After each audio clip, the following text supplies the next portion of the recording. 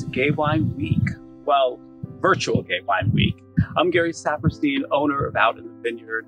And although we can't be together this year, which is very upsetting to me, of course, because I love being able to see all your smiling faces, we're taking Gay Wine Weekend virtually.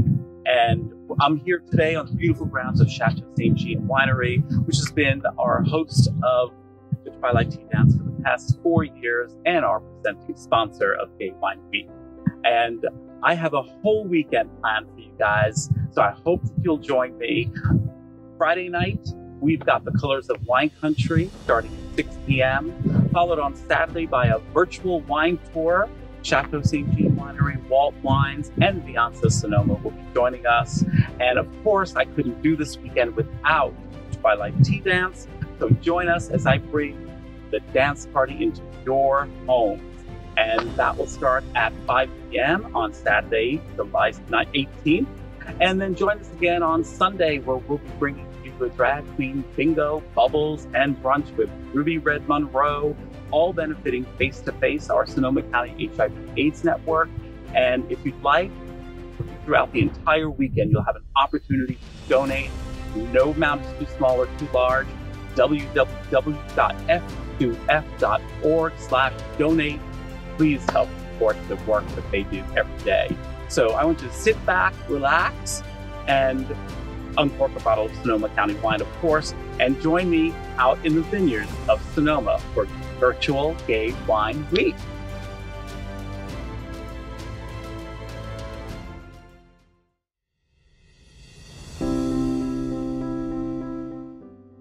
Name is Margot Van Staveren. I'm the winemaker for Chateau St. Jean here in Kenwood, California. Chateau St. Jean was founded in the early 1970s by the Merzoian family from the Central Valley of California. The premise for the winery was, as it still is today, as single vineyard wines, which was a new idea in the early 1970s for Northern California. And some of those vineyards that we worked with back then, such as the Robert Young and Belle Terre vineyards, are, are vineyards we're still working with today. Chateau St. Jean wines overall are really elegant wines. We want the varieties to be genuine. We want to showcase Sonoma County, but we want to strive to, to have a thread of elegance through all our wines. Great food wines because of the cooler region that we're in. We get great acidities, but just to have a, a thread of elegance running through the, the entire line of wines.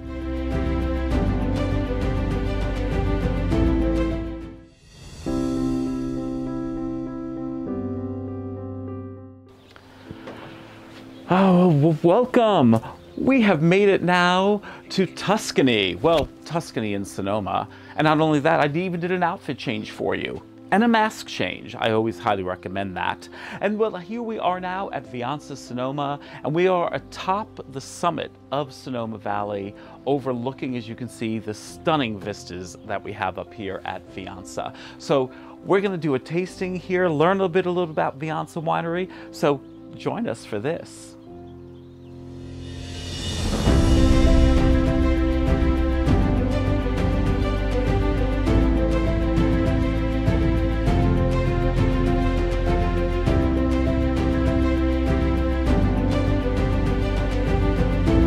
Okay, well, we're here with Chris Sebastiani, General Manager of Viansa Sonoma.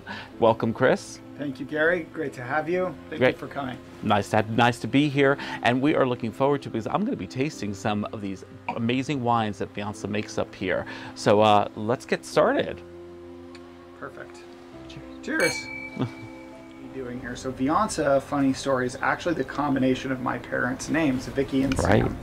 And Vicky and Sam were the third generation of the Sebastiani wine family. My great grandfather immigrated from Italy, started a winery back in the late 1800s in downtown Sonoma called Sebastiani Vineyards, one of the first five wineries in California. Uh, so we're very proud of our history there.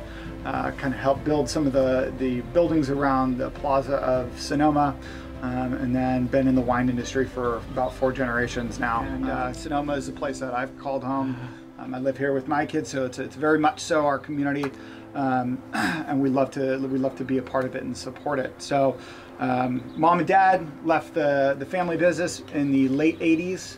Uh, started Viansa as a culmination of the family's heritage and winemaking philosophy um, and food. Uh, the winery was built, uh, was was well visited. Um, Yeah. Well articulated from a wine and a culinary standpoint, um, but then changed hands uh, in the, the, early 2000s. Right. Um, went through a couple different owners, uh, but then found its way back to the family. So my brother John and I uh, were able to take back control of the winery uh, a little over a year and a half ago. So we're happy to be back. Um, we're happy to introduce some new wines. Um, we've got some new labels. We've got a new brand going on. I love it. And yeah. sparkles, bubbles. I didn't even know you did bubbles. We did. And uh, this is a new bubble offering that we have started recently. And what it is, is uh, it's a North Coast base wine uh, with the estate Chardonnay added at dosage. So uh, the grapes down here at the bottom of the hill, uh, we have Chardonnay and Pinot at the bottom, and on the hillside is Sangiovese. Uh, the Chardonnay and the Pinot have not gone into bottle yet, but a little bit of the Chardonnay did make its way into this bubbles. And the Sangiovese we're going to try right here. Oh, so. I love it. Let's wet that whistle. Absolutely. Absolutely. He's holding that bottle. I'm like, pour that, pour that wine. Go ahead and squeeze on over.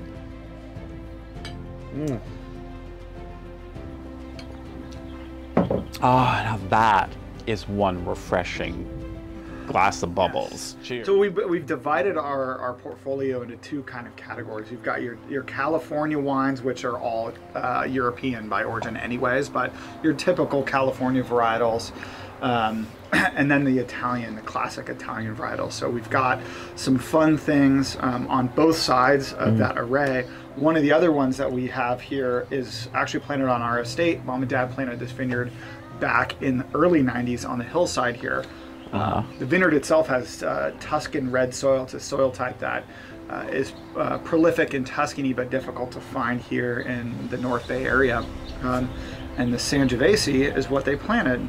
So this is a lovely wine. Sangiovese is the most widely planted wine right. in Italy. And they have done that because it is one of the most approachable and uh, versatile mm. wines that Italians have figured out how to produce. So we love this ah. one. That's a beautiful nose. That's beautiful. Fragrant. Mm. This wine, you can almost, I almost smell that Tuscan red soil mm. on the nose.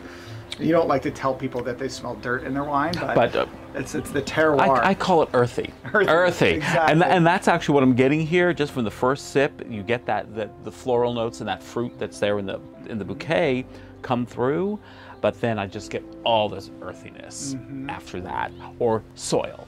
The dirt. The dirt. but it's good dirt. It's good dirt. That's good dirt. That's where the grapes get their flavors. Um, that's that's you know it's so perfect that it's the same as it is in Italy as it is here from a soil type standpoint because this really tastes like a lot of those Italian Sangioveses. There's some nice tannins in this wine too, yeah. so you get some of that structure.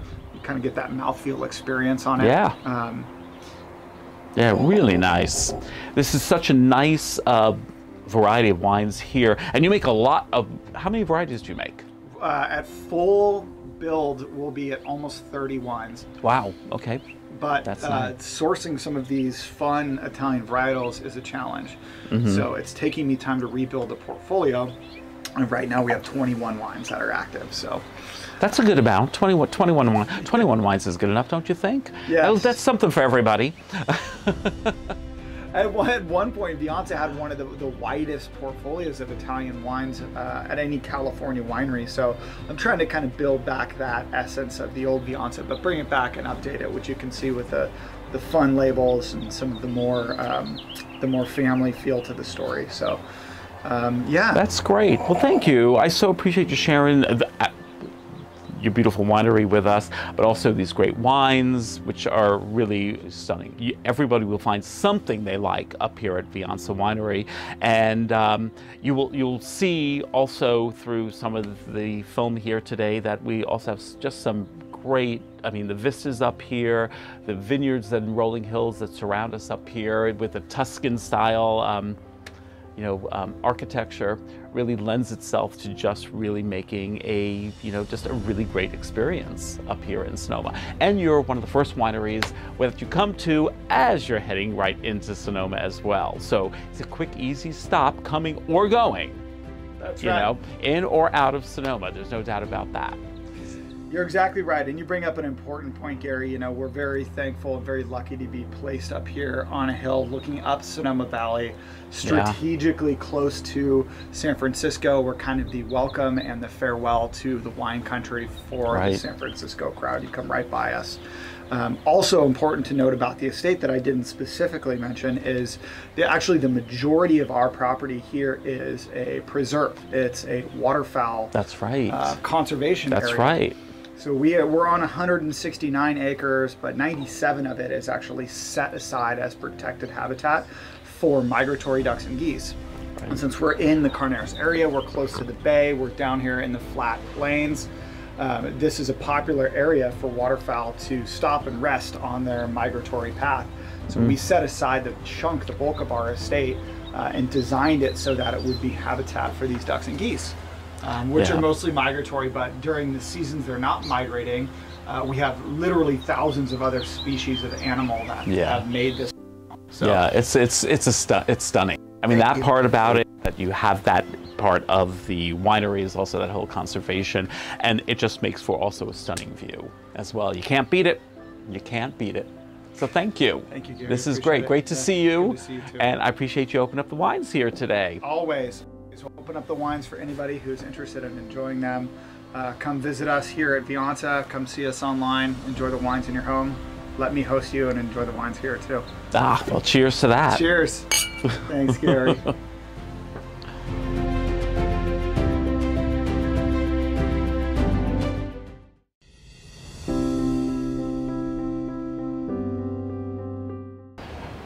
And here we are in our Sonoma Plaza. This is one place that when you're visiting Sonoma, you have to put this on your bucket list. This is home to world-class restaurants, great shopping, and amazing tasting rooms all around our Sonoma Plaza. And in fact, we're gonna head on over to one of them right now, Walt Wines, just literally a block off of the plaza, and do a tasting over there. So come on and join us. And don't forget, visit the Sonoma Square the next time you're in town.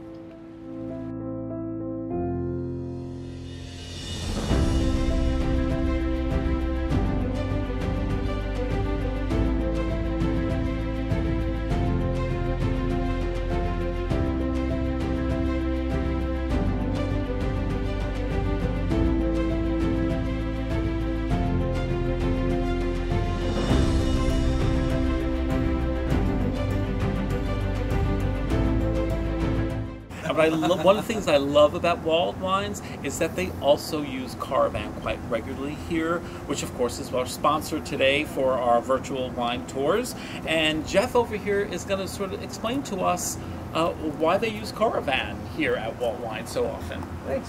So the best part about Coravin is we have these special wines that are in such high pr- production or such low production and high demand we want to really make sure we savor every little ounce for every one of our guests so that we can enjoy that. So we do that during Members Appreciation Week where we actually pour out a large format bottles and at home, obviously, I never have this problem, but some people might have a problem finishing the bottle. So that's what Coravin is really nice for. It also, because the air is nice and sterile, it keeps the wine really fresh. And freshness for Pinot Noir is very, very important because you want to make sure that every glass retains that nice bright acidity and those nice flavor profiles. I love it, and I love I love that you use the Coravin like that because it really educates people about what their product is all about and what it does and how it keeps the wine fresh and um, again how you don't have to open up the bottle.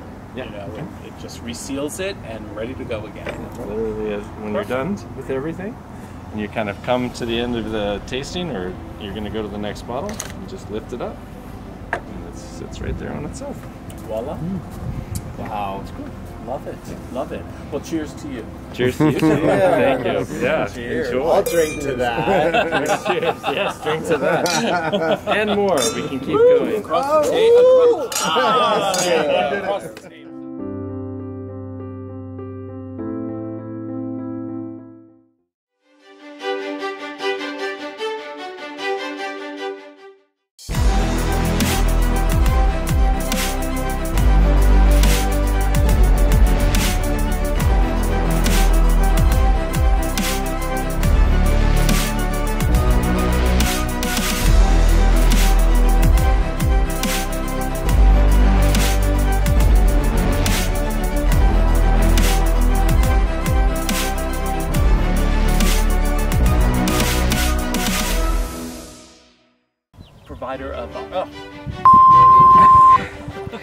You were doing so well. Okay. so I'm gonna cut that. Can, should I pick up? So walk. The runway. Walk.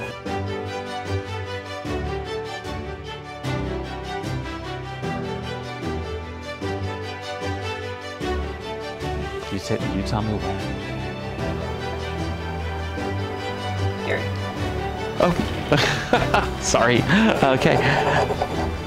Well, we're here up at the summit of. of oh, sorry. Start. We'll start over again. After midnight.